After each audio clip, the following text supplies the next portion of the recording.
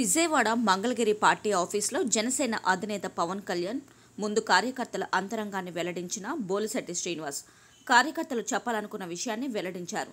బోలిశెట్టి శ్రీనివాస్ మీలాంటి నాయకుడు జిల్లాకి ఒకరు ఉంటే చాలు పార్టీకి అని గతంలో పవన్ కళ్యాణ్ గారి స్వయంగా అభినందించారు అంటే ఎందుకో ఈరోజు చాలామంది కార్యకర్తలకు అర్థమైంది.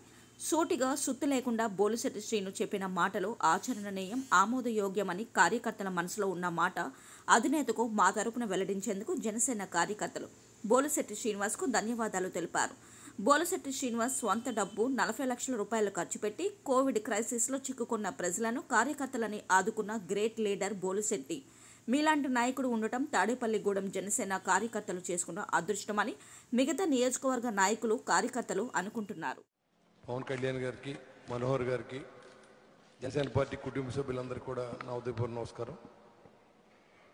మరి ఈరోజు కరోనా ఉన్నప్పుడు కూడా కార్యకర్తలని జిల్లాలన్నీ కూడా మనందరూ కలిసి నిర్మాణాత్మక పార్టీని ఎదురు తీసుకెళ్ళే విధంగా మరి మీరు చేసిన ఆలోచన చాలా మంచి కార్యక్రమం. ఎందుకంటే ఏ పార్టీ చేయనప్పుడు కూడా ఈ కరోనా సమయంలో జనసేన పార్టీ ఒకటే బతికి ఉంది తప్ప ఉన్న పార్టీలు అయ్యి బయటికి రాలేని సందర్భాలు ఈ రాష్ట్ర ప్రజలందరూ కూడా గమనించారని నేను అనుకుంటున్నాను. కూడా సందేశం మేరకు.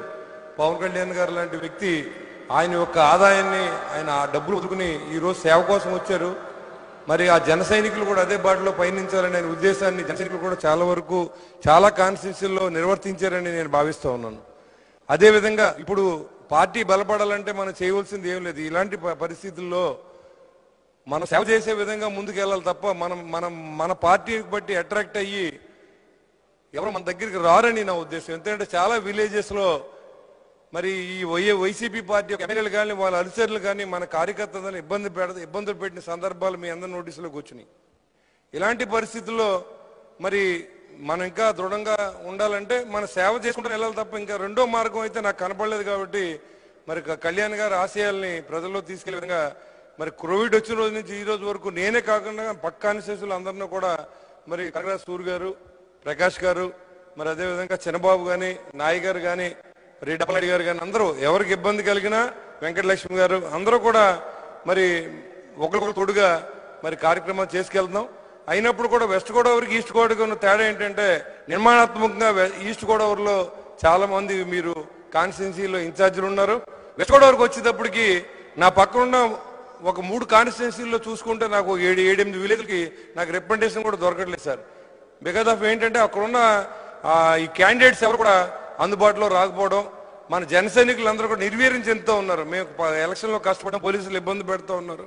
ఎవరు పట్టించుకుంటలేదు మీరైనా పట్టించుకోండి అంటే చాలా చోట్ల తిరిగిన సందర్భాలు ఉన్నాయి.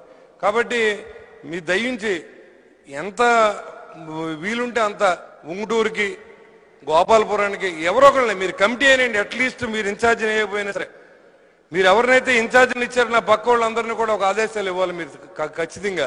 మన జనసేన పార్టీ కార్డును వాడుకుని రేపు ఎలక్షన్లో మనం ఇంకో చోట టిక్కెట్ తెచ్చుకోవాలని ఆలోచన ఉండడం దయచేసి తీసేయవలసిందిగా నేను కోరుతా ఉన్నా. ఎవరేమనుకున్నా పర్వాలేదు. ఈ కార్డు ఎవరైతే తీసుకుంటారో ఆఖరి నిమిషం వరకు జనసేన పవన్ కళ్యాణ్ గారు తప్ప రెండో ఆలోచన లేని వ్యక్తులు మాత్రమే ఈ జనసేన పార్టీలో కొనసాగిన ఉద్దేశం తప్ప ఈ జనసేన పార్టీ ఇన్ఛార్జిగా ఉండి ఎక్కడో ఎదర పార్టీలో బేరం ఆడుకుని రేపు పొద్దున నేను ఏదో నాకు నేను కళ్యాణ్ గారు నన్ను బాగా చూస్తారు మీరు ఏదైనా డబ్బులు ఇస్తారని వేరే చోట చేస్తారనే సందర్భాలు కనపడుతూ ఉన్నాయి కాబట్టి దయించి ఆ కాన్స్టిట్యూన్సీలో ఉంచాల్సిన తొలగించి మీకు నమ్మకం కమిటీల ద్వారా నడిపించవలసిందిగా మిమ్మల్ని చేతులెత్తి నమస్కారం పెడతా ఉన్నాం. ఎందుకంటే ఆ కాన్స్టిట్యున్సీలకు సంబంధించి నాకు ఏడెనిమిది విలేజ్ల్లో నాకు రిప్రజెంటేషన్ కూడా దొరకట్లేదు అక్కడ. ఎందుకంటే పక్క కాన్స్టిట్యూన్సీలో ఎవడో పని చేయట్లేదు నువ్వు బట్టలు ఇప్పుకున్నావంతో నీకు ఉపయోగం లేదని చాలా సందర్భాలు నాకు ఎదురవుతూ ఉన్నాయి. ఒక పక్కన ఎమ్మెల్యేలు ఇబ్బంది పెడుతూ ఉన్నారు. మన కార్యకర్తలు మన కోసం పనిచేసిన కార్యకర్తలను జన సైకిల్ని మనం కాపాడుకుంటూ పార్టీని పటిష్టం చేసుకోవాల్సిన అవసరాన్ని మన అందరూ గమనించి ఇవాళ ఆ రోజుకి ఆ రోజు మనం రెండు వేల ఇరవై నాలుగులో ఎలక్షన్ అయితే రెండు వేల ఇరవై మూడులో మనం వెళ్ళి బట్టలు ఇప్పేసుకుంటే మనకు ఓట్లు వేస్తారని చాలా మంది పొరపడుతూ ఉన్నారు. అప్పుడు కూడా మనం ఎలా ఉంటామో మనకు తెలియదు ఇవాళ జగన్మోహన్ రెడ్డి గారు సంపాదన చూస్తే ఒక ప్రతి వ్యక్తిని కొనేసేలా కనపడుతున్నాడు ఆయన.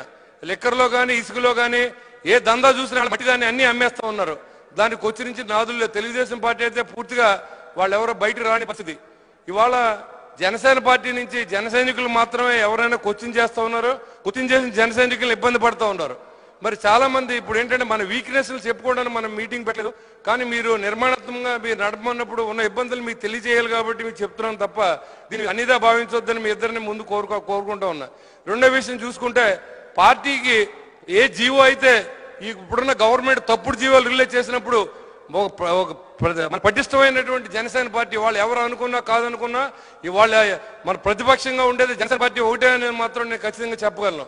అలాంటి పార్టీ నుంచి రిప్రజెంటేషన్ లేకుండా పోతా ఉంది. పార్టీ ఆఫీసులో ఇక్కడ మరి పోతులు ఆయన ఒక్క ఆయనే మాట్లాడుతున్నారు తప్పితే ఇక్కడ పార్టీ ఆఫీసులో ఒక ప్రెస్ మీట్ పెట్టి జగన్మోహన్ రెడ్డి గారు చేసిన అన్యాయాలు ఉంటే ఖచ్చితంగా దాన్ని నిలబెట్టి అడగవలసిన అవసరం ఉంది. ఆ చేయనివ్వండి చేయనివ్వనుండే రెండోది అదేవిధంగా వాళ్ళు చేసిన తప్పులుంటే వాళ్ళు చేసిన మంచి పనులు ఉంటే దాన్ని కూడా పోగొడవలసిన అవసరం మన పార్టీకి ఉందని చెప్పి నేను అభిప్రాయపడుతున్నాను అధ్యక్ష. మరి రెండో చూసుకుంటే ఇవాళ మీరు చాలా అందరికీ చెప్తా ఉన్నారు. ఖచ్చితంగా మేము చెప్పింది కూడా తప్పుగా భావించకుండా ఇప్పుడు కళ్యాణ్ గారు ఇవాళ సినిమాలు చేస్తేనే మనకి పార్టీ క్రేజ్ ఉంటుంది తప్ప సినిమాలు చేయబోయిన ఎవరన్నా కానీ మీరేం పట్టించుకోవాల్సిన అవసరం లేదు. ఖచ్చితంగా పవన్ కళ్యాణ్ గారు సినిమాల్లో చేయాలి. దానికి తోడుగా ఇక్కడ పార్టీలు ఇప్పుడు ఇవాళ జగన్మోహన్ రెడ్డి గారు ముఖ్యమంత్రి అయిన తర్వాత ఏ ఒక్క లైవ్ కార్యక్రమంలో పాల్గొలేదు ఓన్లీ రికార్డింగ్ కార్యక్రమాలలో మాత్రమే ఆయన పాల్గొన్నారు. అదేవిధంగా మా కళ్యాణ్ గారితో ఒక ఇప్పుడు శంఖంలో పోతే తీర్థం వద్దు కదా బొలిసెట్ సింగ్ చెప్తే ఎవరు ఏంటంటే కళ్యాణ్ గారు చెప్తేనే అది రాష్ట్రాలంతా చూస్తారు కాబట్టి ఆయన ఒక వీడియో రిలీజ్ చేయవలసిందిగా నేను ఆయన పాదావందనం చేసి అడుగుతాం. ఎందుకంటే ఆయనే మాకు బలం. ఆయనే మాకు బలహీనత. మరి ఆ రెండింటిని మరి ఆయనే మాకు అడుగుతాం తప్ప ఇక్కడ మీరేమో ఎవరితో మాట్లాడద్దు. ఒక మనిషి సాగుబతుకుతూ ఉంటే మన బాధ్యత ఫోన్ చేస్తే అసలు మాట్లాడరండి. అక్కడ మైకి పెట్టి వినిపిస్తూ ఉన్నాం. మనిషి హాస్పిటల్లో ఉన్నప్పుడు మాట్లాడే సమయం మీకు తెలియదా ఆయన అసలు మాట్లాడరు. అంటే అక్కడ మా పరిస్థితి ఏంటో కూడా మీరు అర్థం చేసుకోవాల్సిన కోటన ప్రజల్లోంచి వెళ్ళిన వ్యక్తులకు మాత్రమే ప్రజల యొక్క నాడి అర్థం అవుతుంది తప్ప ఎవరినో తీసుకొచ్చి అక్కడ కూర్చోబెట్టి పార్టీ ఆశ చెప్తే దానివల్ల నష్టపోయి జనసేన పార్టీ తప్ప ఇవాళ మాట్లాడని మీరు అందరూ కానీ ఇక్కడ ఎవరైనా ఆ సమాధానం చెప్పి చెప్పిన వ్యక్తులు బాధపడినా సరే నాకేం ఇబ్బంది లేదు. నేను మాత్రం ఉన్న మాట మీకు చెప్పాలి. దాన్ని ఖచ్చితంగా మీరు ఇంప్లిమెంట్ చేయగలిగితే నేను చెప్పి మంచిది చేయండి. లేకపోతే శ్రీనివాస్ ఎలాగ మాట్లాడతాడు ఆవేశపడని వదిలేండి సార్. నన్ను తప్పుగా మాత్రం అనుకోకండి. ఎందుకంటే అలాంటి సందర్భం నాకు ఎదురండి. ప్రతిదీ కళ్యాణ్ గారు అందరికీ సమాధానం చెప్పలేరు. ఆయన ఆయన దయ వల్ల మేము బజార్లో తిరుగుతున్నాం. ఆయన చూసే మా వెనకాల జనం ఉంటారు తప్ప మా సొంత జనం ఎవరో కాదు. కానీ అయినప్పుడు కూడా ఆయన రక్షించవలసిన బాధ్యత కార్యకర్తను రక్షించవలసిన బాధ్యత జనసేన పార్టీ ఇన్ఛార్జ్గా ఉంటుంది. మమ్మల్ని రక్షించిన బాధ్యత మీ ఇద్దరి మీద ఉంటుందండి. మీ ఇద్దరు కానీ పట్టించుకోకపోతే మా బతికి అదో అదో అధోగతి పాలైపోతుంది. ఇవాళ ఆర్థికంగా నష్టపోయాం కోవిడ్ టైంలో నలభై లక్షల రూపాయలు అయింది సార్ ఇప్పటికి. అయినా సరే నేను ఈ రోజు వరకు కట్టి సర్వీస్లోనే ఉన్నా. నాతో పాటు చాలా మంది ఇన్ఛార్జీలు కూడా ఖర్చు పెడతా ఉన్నారు. డబ్బుల గురించి కాదు. కానీ మాకు కావాల్సింది మేము కష్టాల్లో ఉన్న సమయంలో ఓదార్పు కావాలని అడుగుతున్నాం తప్ప this is not demand. This is request. మన పార్టీ కోసం మిమ్మల్ని నేను డిమాండ్ అనుకోండి రిక్వెస్ట్ అనుకోండి ఏదైనా అనుకోండి మా భవిష్యత్తును కూడా మీ దృష్టిలో పెట్టుకుని కాపాడవలసిందిగా మిమ్మల్ని అర్థిస్తాం చాలా మంది ఏంటంటే ఇక్కడ చెప్తే మళ్ళీ మీరందరూ ఫీల్ అవుతున్నారు మనం మాట్లాడకూడదు అనుకునే తప్పు ఏది చెప్పాలనుకున్నా అది మీకు చెప్పాలి మీరు ఇంప్లిమెంట్ చేయండి చేయకపోండి ఖచ్చితంగా పార్టీ ఆఫీసులో మాట ప్రెస్ నోటు జీవో రిలీజ్ అయిన వెంటనే మన పార్టీలో కొంతమందిని మీరు ఇక్కడ విజయవాడ సంబంధించిన వ్యక్తులు కానీ లేకపోతే కృష్ణా జిల్లా దగ్గరలో గుంటూరులో ఉన్న వ్యక్తులు కానీ ఒక ప్రెస్ మీట్ పెట్టకపోతే మన పార్టీ నుంచి రిప్రజెంటేషన్ రావట్లేదు సార్. మీరు నోట్లు పంపుతున్నారు. ఆ నోట్లు మేము చూస్తాం కానీ బయట ఎవరో చూడలేదు. కాబట్టి ప్రెస్ నోట్ కంటే ప్రెస్ మీట్ ఇంపార్టెంట్ అని చెప్పి మీ అందరికీ నేను సవినయంగా మనం వివరించుకున్నాం తప్ప ఇదేమి గట్టిగా మాట్లాడదాం అన్నది మీరేమో అనుకోకుండా దయించి. మరి ఇంకా పార్టీని బలపతి చేయాలంటే ఒక సంవత్సరం పడుతుంది సార్. మీరు ఈ లోపల ఏంటంటే చాలా జిల్లాల్లో మన పార్టీ కోసం నిస్వార్థంగా కష్టపడినటువంటి నాయకులు ఉన్నారు. మా మేము ఇన్ఛార్జీలుగా మేమే పెద్ద గొప్పోళ్ళం కాదు. మాకు కూడా కొంతమంది నాయకుల్ని మీరు ఒక కమిటీ వేసి ఈ ప్రతి జిల్లాలో నా జిల్లా కాదు ఈస్ట్ గోదావరి చాలా వాళ్ళు వాళ్ళందరూ హ్యాపీగా ఉన్నారు. కానీ వెస్ట్ గోదావరిలో అంత హ్యాపీగా నాకు కనపట్లేదు కాబట్టి ఒక కమిటీని కూడా వేసి అందరినీ సమన్వయపరిచి ఒక ప్రెస్ మీట్లు జరుగుతుంటే పార్టీకి బలం చేకూరుతుందన్న ఉద్దేశం.